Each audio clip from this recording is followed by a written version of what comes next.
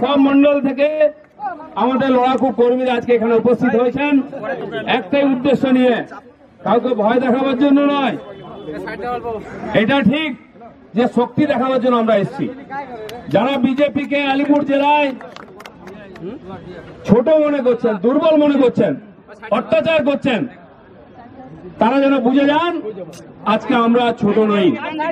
ওনারাই ছোট হয়ে গেছেন। তাই বন্ধুগণ, আমি সকাল থেকে এসছি আলিপুরদুয়ারে। সকালে বৃষ্টি হচ্ছিল, তখন থেকে নেমে দেখছি মোড়ে মোড়ে পুলিশ। আমার মনে হচ্ছে পাকিস্তান আক্রমণ করবে।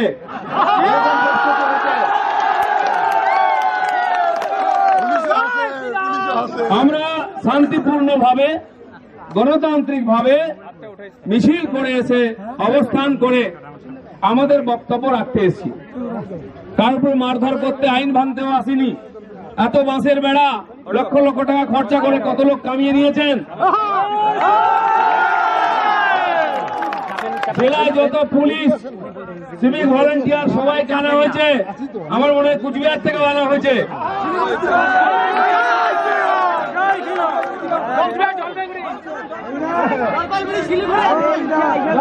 শিলিগুড়ি জলপাইগুড়ি থেকে পুলিশ আনা হয়েছে।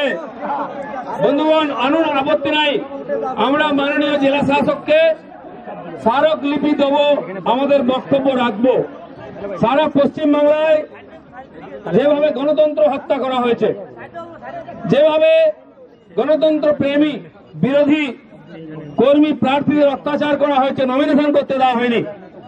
যেভাবে তাদের উপরে কেস দেওয়া হয়েছে, অত্যাচার করেছে, বাড়ি ভাঙা হয়েছে, ঘর ছাড়া করা হয়েছে, এখনও অত্যাচার চলছে, খুন চলছে। তার বিরুদ্ধে শান্তিপূর্ণ প্রতিবাদ করার জন্য এসেছি। আমি অবাক হয়ে গেলাম, আজকে হাজার হাজার পুলিশ পোস্টিং দেখে।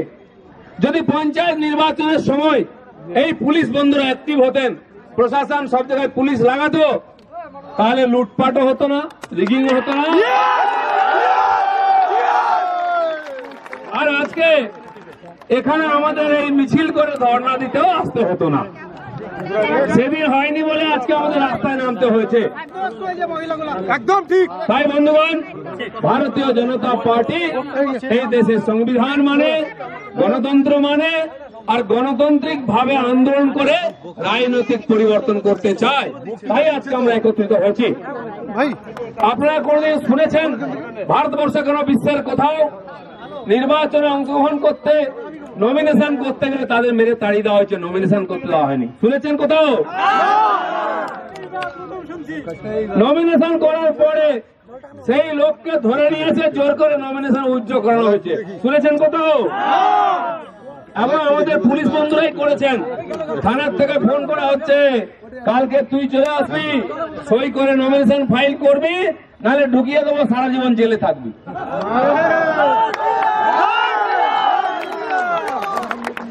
তাও আমরা নমিনেশন উজ্জ্বল করিনি। প্রায় আটত্রিশ হাজার প্রার্থী আমাদের ছিলেন। সিপিএম কংগ্রেস শুয়ে পড়েছিল। এখনও বোম ভাঙেনি। তারপরে নমিনেশনের পরে উইড্রপ ডেট পার হয়ে গেল, প্রচার করতে যাওয়া হলো। আমাদের পারমিশন করতে দেওয়া হচ্ছে সভা করার জন্য। তাই ছোট ছোট কর্মী সভা করেছে। আমি এসেছিলাম এখানে, কুমারগঞ্জ টি গার্ডেনে গেছিলাম। আমাদের ছেলেরা বাইক নিয়ে আমাকে স্বাগত করতে এসেছিল। পুলিশ অফিসার রাস্তায় দাঁড়িয়ে আছে, ভুড়ি উঁচু করে। আমি বললাম, ভাই, কি হলো? আপনি এত রেগে যাচ্ছেন কেন? বলছে, না, এই মিছিল বার করেছে বাইক মিছিল, এটা করতে দেবো না। পারমিশন নেয়নি। আপনি টিএমসি আপনার কাছ থেকে জীবনে কোনদিন পারমিশন নিয়েছে? তখন আর কিছু বলতে। ওরা জানে টিএমসি কোনদিন নিয়ম মানে না, আইন মানে না। বিজেপি মানে তাই বিজেপিকে আইন দেখানো হয়। মানবো আমরা, নিশ্চয়ই মানবো। আজকে আইন মেনে করছি, কালকে আইন অমান্য করব, যদি এরকম হয়। বন্ধুগণ, আমাদের প্রচারে বাধা দেওয়া হয়েছে। ভোটের দিন বাধা দেওয়া হয়েছে। ভোট করতে দেওয়া হয়নি, তাড়িয়ে দেওয়া হয়েছে এজেন্টদেরকে, এবং ঢুকে জোর করে ভোট করা হয়েছে। সাধারণ মানুষ লাইনে দাঁড়িয়ে ভোট দিতে ঢুকেছেন। আঙ্গুলে কালি লাগিয়ে বলছে, যা, তোর ভোট হয়ে গেছে, বাড়ি যা. শুনেছেন কোথাও শুনেননি কোনদিন। এটা দেখতে হলো এবারে। এই বাংলায় প্রথম। ভোট হয়ে যাওয়ার পরে রাত দশটা পর্যন্ত আবার ভোট করা হয়েছে ভেতরে অন্য লোক ভোট করেছে। যেদিন ভোট গোনা হবে সেদিনও ছাপ্পা মারা হচ্ছে। আমি বানিয়ে বলছি না আপনারা টিভিতে দেখেছেন কিনা এটা কোনো শুনেছিলেন না। এটা দিদির রাজত্বেই সব নতুন নতুন ঘটনা ঘটছে। যেটা কেউ শোনেনি দেখেনি সেটা দেখতে হচ্ছে। আমাদের যেখানে জিতে গেছি সেখানে টিএমসির লোকেরা গিয়ে কালি দিয়ে টিপ ছাপ লাগিয়ে দিচ্ছে ওদের চিহ্নতে। আমাদের তাতে চাপ্পা ওদের টিপ ছাপ ক্যান্সেল হয়ে গেছে। জেতা সিট হারিয়ে দেওয়া হয়েছে। তো নমিনেশন করতে আটকে দেওয়া হয়েছে। নমিনেশন তুলতে তোলানো হয়েছে জোর করে। প্রচার করতে দেওয়া হয়নি। ভোটের দিন ভোট গোনার দিনও রিগিং করা হয়েছে। তারপরেও যারা ভোটে দাঁড়িয়েছিল পুলিশ তাদের কেস দিয়ে নিয়ে জেলে ঢুকিয়েছে। তারা জেলে থেকে জিতে এসছে তাদেরকে আমরা মালা পরিয়েছি। অনেকে জেতার পরে কেস দিয়েছে। জেতার পরেও কেস দিয়ে জেলে ঢুকিয়ে দিয়েছে। সার্টিফিকেট পর্যন্ত দেওয়া হয়নি। মেরে মাথা ফাটিয়ে দেওয়া হয়েছে, ডাক্তারের কাছে যেতে দেওয়া হয়নি। ধরে নিয়ে থানায় বসিয়ে রাখা হয়েছে, এফআইআর নেওয়া হয়নি। আমাদের লোকের বাড়ি ভেঙেছে। পুলিশ তাকেই ধরে নিয়েছে তাদের নামে কেস দিয়েছে। এরকম কোথাও শুনেছেন কোন দেশে হয়? এটা পশ্চিমবাংলায় হয়। এবং আমরা দেখছি এত অত্যাচার এখন জিতে যাওয়ার পরে পুরুলিয়াতে বীরভূমে মুর্শিদাবাদে পুলিশ নিজে বাড়ি যাচ্ছে আমাদের কর্মীর। যেখানে পঞ্চায়েতটা হ্যাং হয়ে শঙ্কু বলছে পাঁচ লাখ টাকা নে টিএমসি জয়েন কর। বলছে, বাবু, আমি টাকা ফাকা নেব না, আমি বিজেপি করি। বলে, তাহলে গাঁজার কেস দেবো, সারাদিন জেলে থাকবি, সারা জীবন জেলে থাকবি। হয় ক্যাশের লোভ দেখিয়ে, নাহলে কেসের ভয় দেখিয়ে আমাদের লোক লোকদেরকে পাল্টাবার চেষ্টা করছে। বন্ধুগণ, আমাদের কর্মীরা বাড়ি ছেড়ে চলে গেছে, গ্রাম ছেড়ে চলে গেছে। আমাদের আলিপুরদুয়ার থেকে, কুচবিহার থেকে আসামে লুকিয়ে রেখেছে। উত্তর দিনাজপুর, মালদা থেকে বিহারে নিয়ে গেছে আমাদের কর্মীদের লুকিয়ে রেখেছে। বীরভূম, মুর্শিদাবাদ, ঝাড়গ্রাম আর পুরুলিয়া থেকে ঝাড়খণ্ডে নিয়ে লুকিয়ে রেখেছে আমাদের কর্মীদেরকে, প্রার্থীদেরকে। কারণ পুলিশ, গুন্ডা, কার্ডের মিলে ধরে নিয়ে এসে তাদেরকে পার্টি জয়েন করাচ্ছে। তারা বাড়ি ছেড়েছে, রাজ্য ছেড়েছে। বন্ধুগণ, কিন্তু পার্টি ছাড়েনি। এটা ভারতীয় জনতা পার্টি।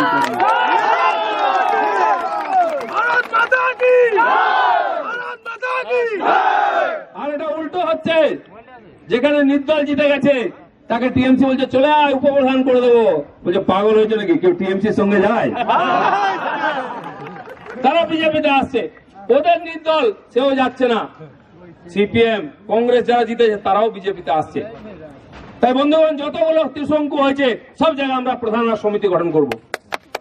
জেলা পরিষদে জেলা পরিষদে ভোট গণনা হচ্ছে রাত দশটা, এগারোটা, বারোটার পরে। যাতে লোক চলে যায়, ফাঁকা হয়ে যায়। তারপরে আমাদের কর্মীরা জেগে বসেছিলেন। গুন্ডা দিয়ে, পুলিশ দিয়ে লাঠি পেটা করে তাদেরকে ঘর থেকে বার করে দেওয়া হয়েছে। আমাদের জেতা সিট নিয়ে নেওয়া হয়েছে। নাহলে আলিপুরদুয়ারে আমরা জিততাম, জেলা পরিষদ। দক্ষিণ দিনাজপুর জিততাম, পুরুলিয়া, ঝাড়গ্রাম জিততাম। এমপি এমএলএরা টিএমসির তারা নিজে পুলিশের সঙ্গে এসে লাঠি পেটা করেছেন দক্ষিণ দিনাজপুরের এসপি নিজে লাঠি নিয়ে মেরে আমাদের লোকদের বার করে দিয়েছে। কল্পনা করতে পেরেছেন কোনদিন? নৈরাজ্য দিদির ক্যাডার কম পড়ে গেছে। পার্টির ভাই কম তাই পুলিশ ভাইদেরকে পার্টির কাজে লাগাচ্ছে। তাই আজকে মানুষের রাজ পুলিশের উপরে। এই যে এত পুলিশ কেন? ভয়ে। যদি ভেঙে দেয় আমরা ভাঙবো না। আমরা তো সরকারটা ভাঙার জন্য এসেছি কি? আজকে পুলিশ ইউনিফর্ম পরে টিএমসি ক্যাডারের মতো ব্যবহার করছে। তাই পাবলিক পুলিশকে পেটাচ্ছে। গাড়ি জ্বালিয়ে দিচ্ছে থানা জ্বালিয়ে দিচ্ছে। বড় বাবুর মাথা ফাটিয়ে দিয়েছে। কেন? আপনারা আজকে নিরপেক্ষ নন।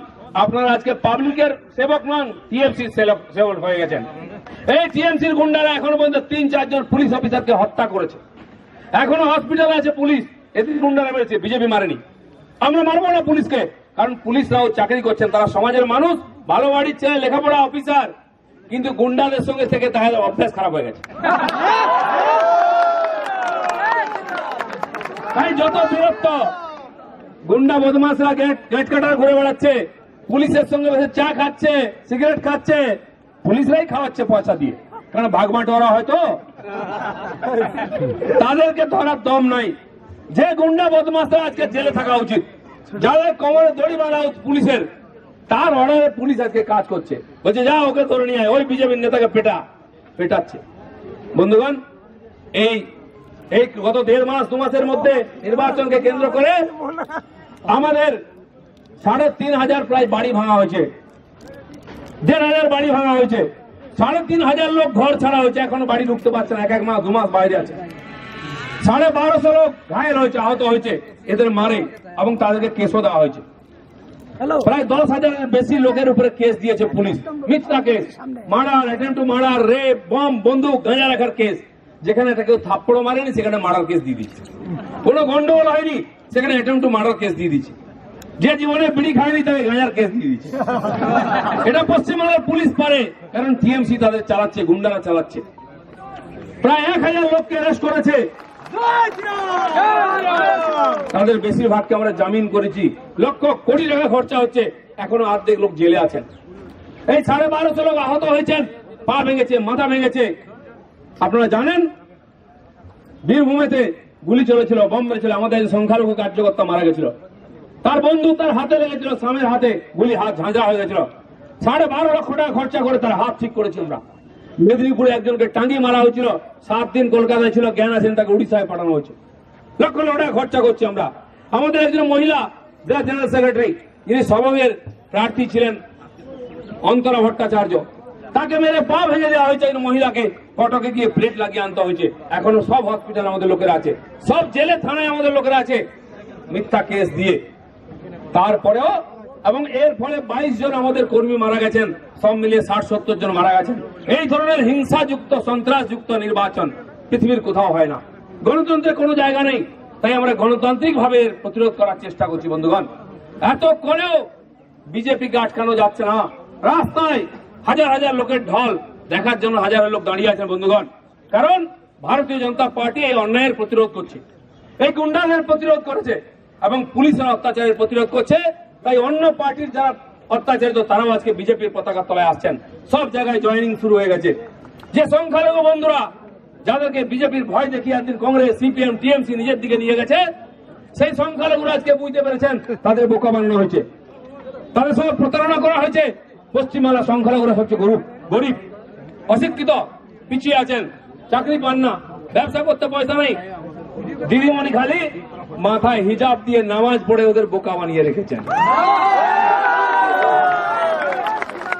তাই তারা বুঝতে পারছেন অন্যান্য রাজ্যে যেখানে বিজেপির রাজত্ব আছে সংখ্যালঘুরা সবচেয়ে সুরক্ষিত সবচেয়ে সম্মান এবং সম্পন্ন।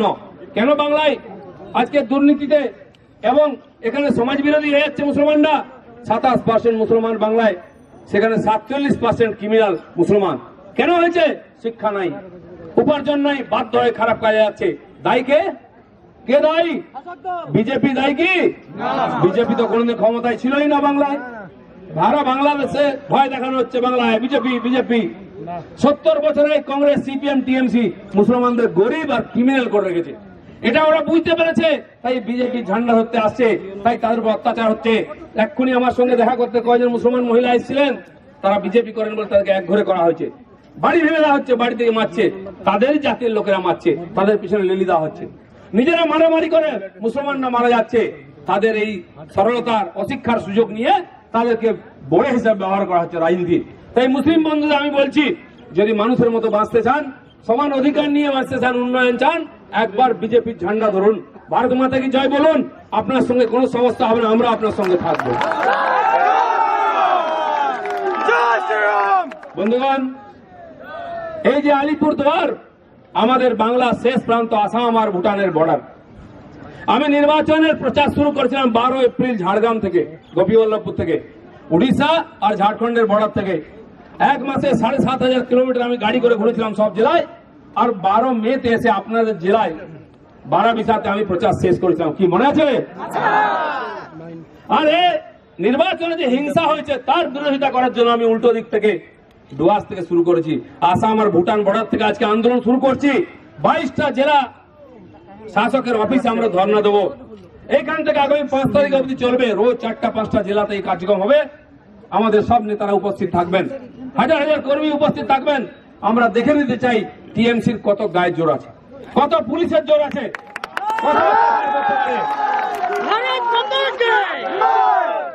এই যে পরিবর্তন শুরু হয়েছে আলিপুর দুয়ার থেকে উত্তর বাংলা হয়ে বীরভূম হয়ে মেদিনীপুর, পুরুলিয়া, বাঁকুড়া, ঝাড়গ্রাম সব জায়গায় পরিবর্তন হয়ে গেছে। যেখানে লুট করে নিচ্ছে ভোট করতে দেয়নি, দাঁড়াতে দেয়নি, ওখানে তারা খালি জিতেছে, বাকি জায়গায় আমরা জিতেছি। এই যে পরিবর্তন শুরু হয়েছে, এর থেকে টিএমসি ভয় পেয়ে গেছে। কাউকে বিশ্বাস করতে পারছে না। পাঁচজন এসপি কে পাল্টে দিয়েছে। কারণ আটজন ডিএম কে পাল্টেছে। ওদের বলেছিল, ভাই, জিতে দিতে হবে। একটা সিটও যেন বিরোধীরা না পায়। দিদিমণি বলেছিলেন, বিরোধী শূন্য পঞ্চায়েত চাই। কি বলেছিলেন কিনা? আমি আমাদের ঝাড়গ্রামে জঙ্গলমহলে পুরুলিয়া বলেছিলাম, দিদিমণি, বিরোধী শূন্য পঞ্চায়েত চাইছেন, আপনারা আর তৃণমূল শূন্য জঙ্গলমহল করে দেখিয়ে দিন। কি, করেছে কিনা? দিদিমণি ভাই ভয় পেয়েছেন। ভাইপো ভয় পেয়েছে। পার্থবাবু ভয় পেয়েছেন। এত মোটা লোকটাই রোদ্রে দৌড়েছে ঝাড়গ্রাম, মেদিনীপুর, পুরুলিয়া। ঠেলা। এখন কলকাতায় চল্লিশ ডিগ্রির উপরে টেম্পারেচার পুরুলিয়ায় বিয়াল্লিশ ডিগ্রি। গা পড়ে যাচ্ছে। যে বাবুরা ঠান্ডা ঘরে থেকে থেকে ফুলছিলেন এখন সেই রোদ্রে দৌড়ে দৌড়ে চুপসে যাচ্ছেন। আমের মতো তলতল করছে পেটে কেন? বিজেপির ঠেলা। আরে সবে তো শুরু হয়েছে। এ তো সবে, এ তো পহলি ঝাঁকি হ্যাঁ পুরো ফিল্ম বাকি হ্যাঁ আগামী বছর লোকসভায় বাকিটা দেখাবো, এটা তো ট্রেলার মাছ এই সামান্য ওষুধ দিয়েছি হোমিওপ্যাথি তাতে আটজন ডিএম এর চাকরি গেল। পাঁচজন এসপি গেল। তিনজন মন্ত্রী। এখানে একটা উইকেট পড়েছে না?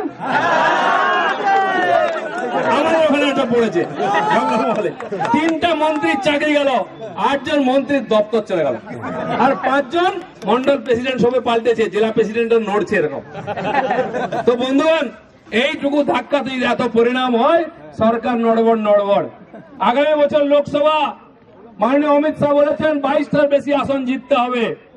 এক নম্বর শুরু হবে আলিপুর দিয়ে এ দিয়ে না ভারত মাতা কি ভারত মাতা কি আমি কি এক নম্বরে আলিপুরটা লিখব?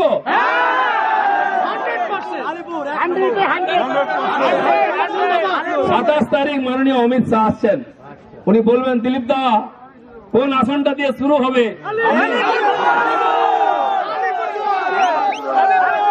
হ্যাঁ, এতে আলিপুর বিতে বালুরঘাট সিতে কুচবিহার হবে তো? চলতে থাকবে।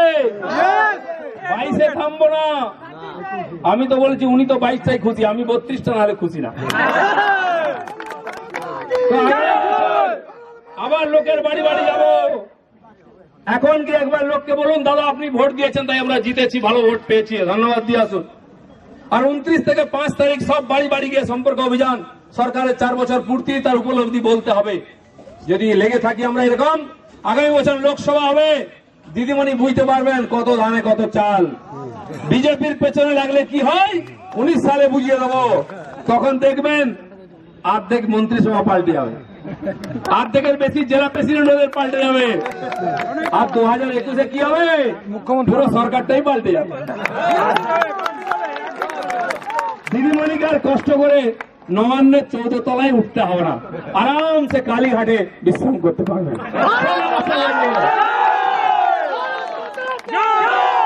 তাই বন্ধুগণ, আজকে আমাদের যে জেলা শাসক অফিস অভিযান ধরনা আপনারা দলে দলে এসে সফল করেছেন এই গরমের মধ্যে।